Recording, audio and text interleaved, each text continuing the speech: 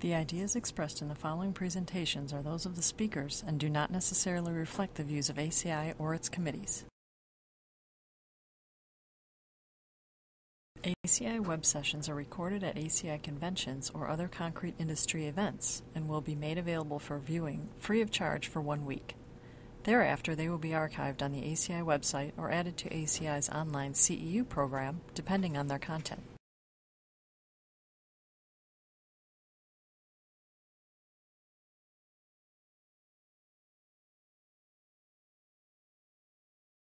Good afternoon, everyone. Uh, thank you for that extended introduction.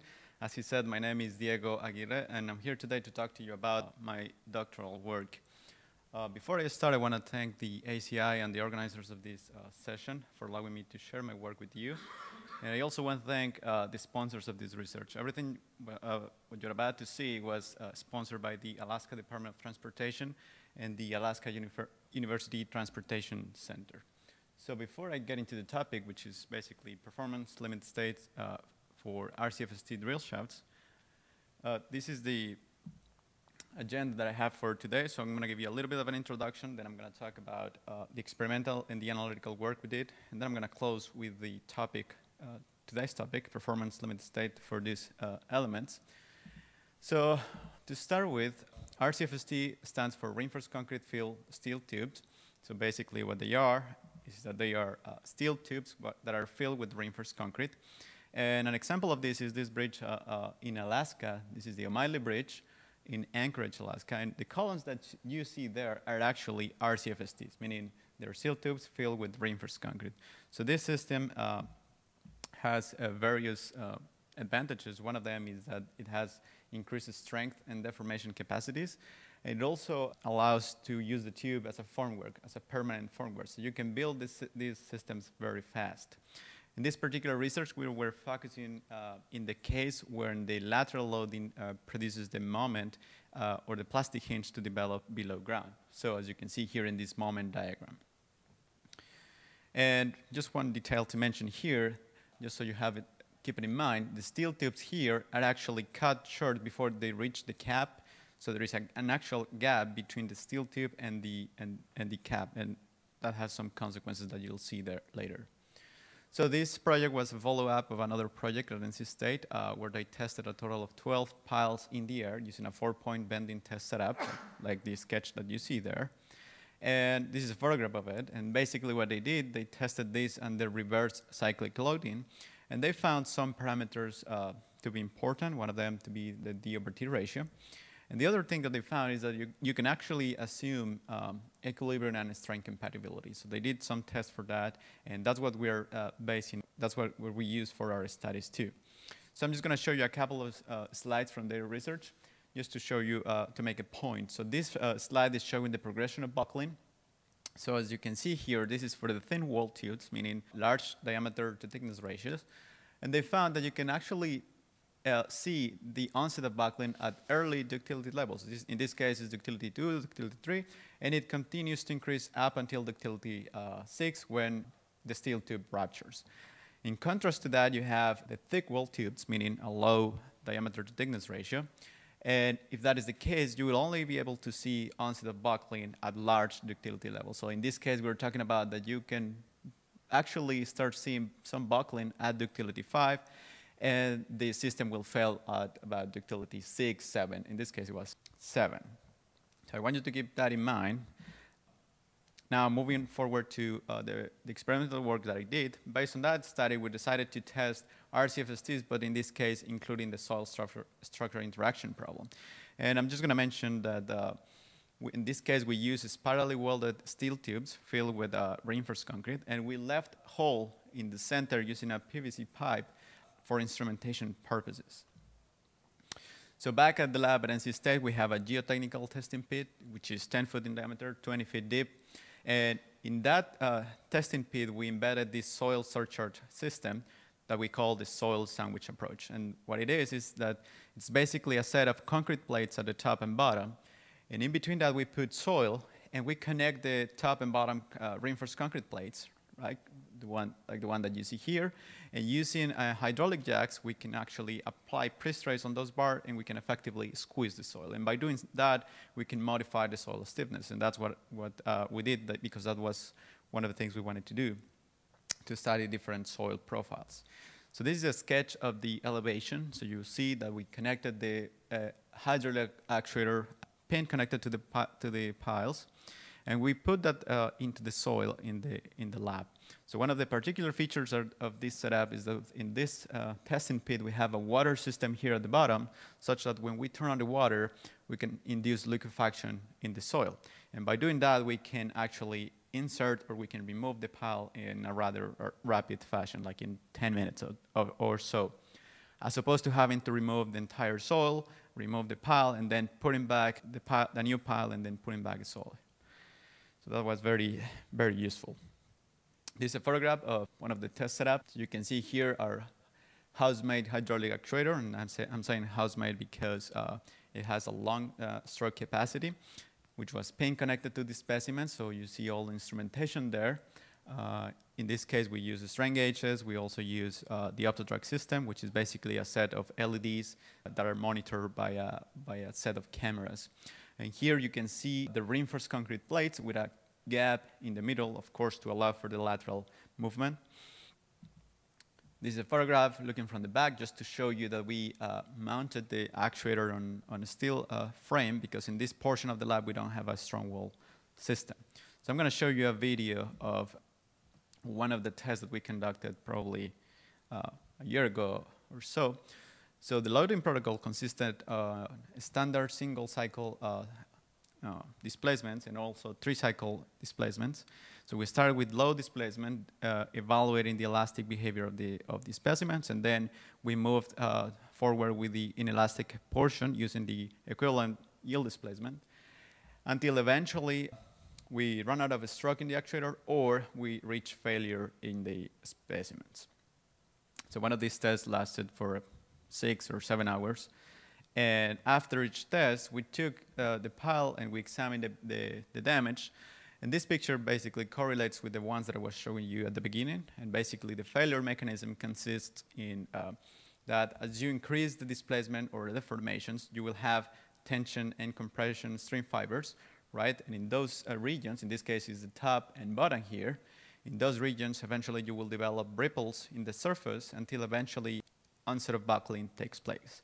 And as you continue to increase that deformation, uh, those buckle locations continue to increase, and eventually those sections are so weak that the steel ruptures at those uh, sections.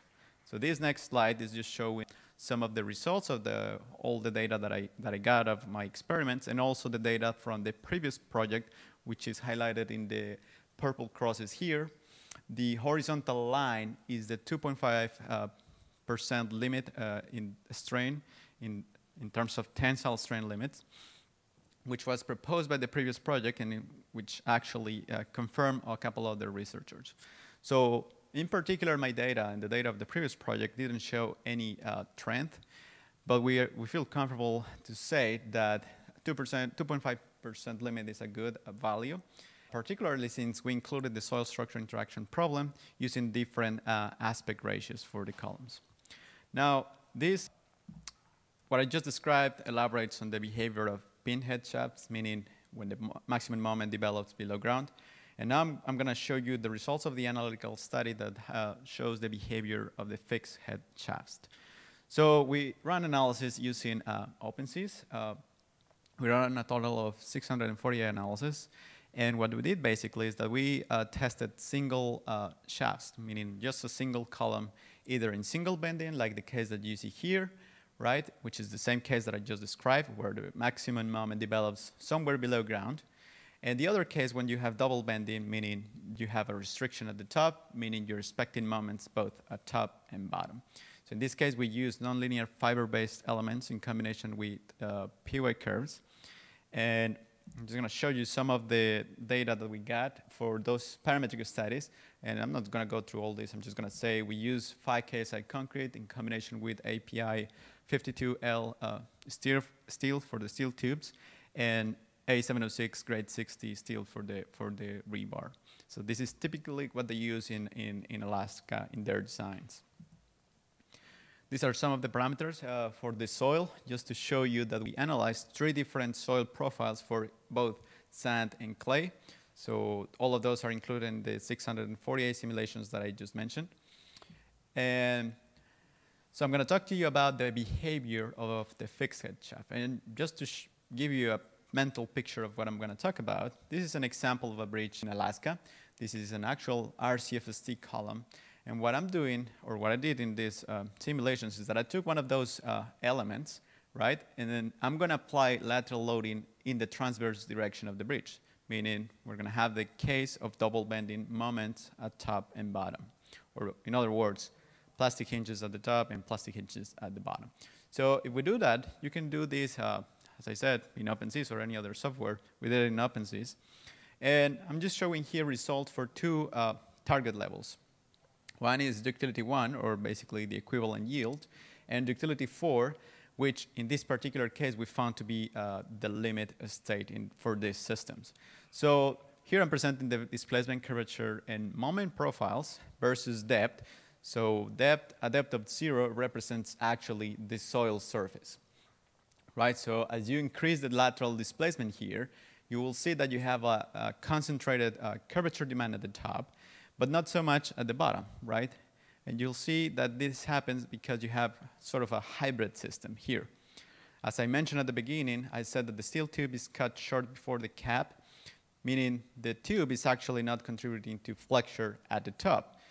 As such, at the top, you effectively have a reinforced concrete section, which, which has less capacity as opposed to an in-ground plastic hinge here, which is effectively an RCFST. And you can also see that in terms of the moment diagram. So you see at the top, due to the large increase of displacement, you don't see um, a, a, big difference in terms of the moment. But at the bottom, the moment has increased, and it's actually almost twice what you see at the top. And the reason is what I just mentioned. At the top, you have effectively a reinforced concrete section confined by the steel tube. But at the bottom, you have actually the steel tube contributing to flexure. So as I said, it's some sort of hybrid system. So if we zoom in into uh, the top demand or the top plastic hinge, on the left you have the curvature demand, and on the right you have the strengths. And I just put this to show you a couple of things. The first is that our model approach was considering that the steel tube was not contributing anything to the, to the strength uh, of the system. And the other thing is that at ductility 4, as I mentioned before, we observed uh, that was kind of the limited state for this particular system. So we were talking about that at ductility 4, we're in between uh, damage control limit state or, a, or an ultimate limit state, which means you're very close to collapse for the plastic hinge at the top. Now, if you look at the plastic hinge at the bottom, you'll see that in this case, the steel tube is effectively contributing to strength, meaning you have contribution of the steel tube and the rebar. And in this particular case, these are the results for ductility 4 the system has just reached yield at the bottom. So while you are very close to collapse for the plastic hinge at the top, at the bottom, the plastic hinge has just yielded, meaning you have a reserved capacity. However, you need to think, think uh, keep in mind that if you're very close to collapse, collapse at the top, you can run on into a problem of stability. So you have reserved capacity at the bottom, but if you keep pushing, you have an instability issue at the top which is not bad because what this means is that you can expect damage in the top plastic hinge and not at the bottom, which is uh, actually desirable in a damage scenario uh, in which you need to repair your column. Now, moving forward to the performance limit states, uh, we wanted to produce a framework to design this type of elements using a displacement-based design approach. And what that means is that we wanted to connect strains with displacement.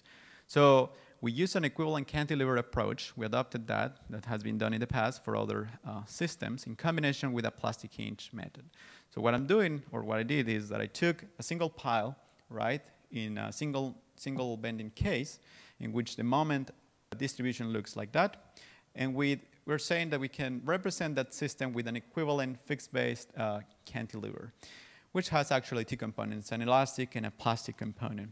So that means that you have uh, elastic deformations and plastic deformations. So you can use the plastic hinge method, and you can actually write a couple of equations for that, for which you can run parametric studies and you can uh, determine parameters for those equations based on the results of the parametric study.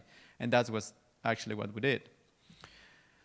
Regarding the performance limit state specifically, for the in-ground plastic hinge, meaning the pinhead case, we know that the steel tubes contribute to the flexural strength. We assume equ equilibrium and strain compatibility, meaning a strain, uh, linear strain profile.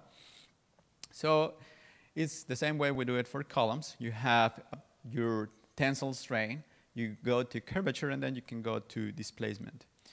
As for the strain limits in particular, we have a couple of them for damage control and ultimate limit state. This equation here was the result of the previous research project, and this gives you actually the tensile strength prior to onset of buckling as a function of the D over T ratio. And for ultimate, as I said before, we are uh, recommending to use 2.5% as it seems a reasonable uh, number. So if you follow the same uh, concept, you can do the same thing for a fixed head case, in which now you have a double bending case, correct? And can represent that system also with an equivalent uh, fixed-based uh, cantilever with elastic and plastic components. But you need to recognize that at the bottom, you effectively have a reinforced concrete filled steel tube section, meaning the steel tube is contributing to the flexural strength. Whereas at the top, you effectively have reinforced concrete section, right? So the top is going to damage. And Considering that, actually the plastic hinge model assumes that the inelastic deformations occur only at the top. And you can also write the same equations, find the parameters from a parametric study. But for the limited state, in this case, we know that it's a reinforced concrete section, but the steel tube actually provides confinement. So you need to, when you calculate the, the properties of your confined concrete, you need to keep in mind that you have a steel tube that is uh, providing confinement to the section. And for the uh, limited state curvature, you, again, you use your uh, tensile strain limit, limit, and then you go to curvature, and then you can go to displacements as we already know for reinforced concrete sections. Regarding the strain limits, we can use um, the recommendations by the Port of Los Angeles uh, document, for which for damage control, you can use about 6% of the tensile strain in the rebar, or for ultimate, you can use 8%. So just to conclude uh, my presentation, some conclusions here. The first thing is that for pinhead shafts, we observed a, a reliable uh, displacement capacity of ductility 3, even for the large uh, D over T ratios. The controlling limit state is, of course, the uh, tensile strain of the tube of 2.5%.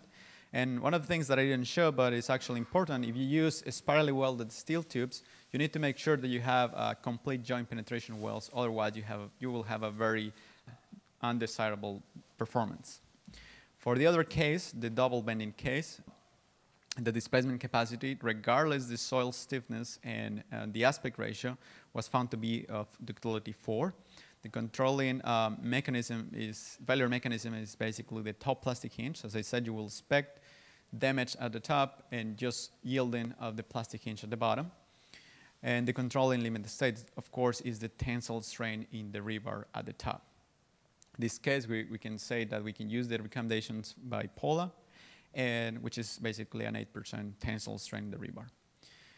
And as I said, one thing important to mention, you do have uh, reserve capacity in the plastic hinge at the bottom, right? But as I mentioned, you need to be careful because at the top you are eh, very close to collapse, so you run into a problem of stability. So that's why we're limiting our displacement to ductility 4. And with that, I just want to thank you all for listening to me, and I'll be very happy to answer any questions. Thank you. Uh, so my question is, uh, for the in-ground hinge, yes. you assume the strain compatibility, but how do you make sure the concrete and steel are perfectly bonded in that uh, hinge area?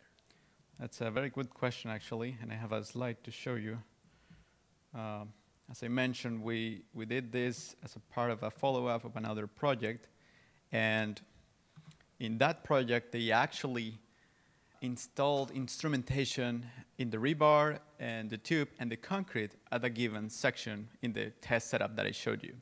And they run moment curvature analysis and you compare experimental and uh, calculated data using this uh, modeling of this section, and they found this, this couple of uh, things. These are two examples for uh, DT of 33 or DT of 90, uh, 192, and basically this is the moment curvature relationship for that particular experiment and the calculated uh, response assuming equilibrium and strain compatibility. So you're very close in both, right? And I don't have the slides or the paper, but they concluded that you can actually assume equilibrium and strain compatibility. So it's not that you, you will have actually a linear strain profile. The strain profile is not linear. What they are saying is that you can actually use that and have still good results, which is basically what you can see here in these uh, curves. The lines are very close uh, to each other between the experimental data and the analytical data. Thank you.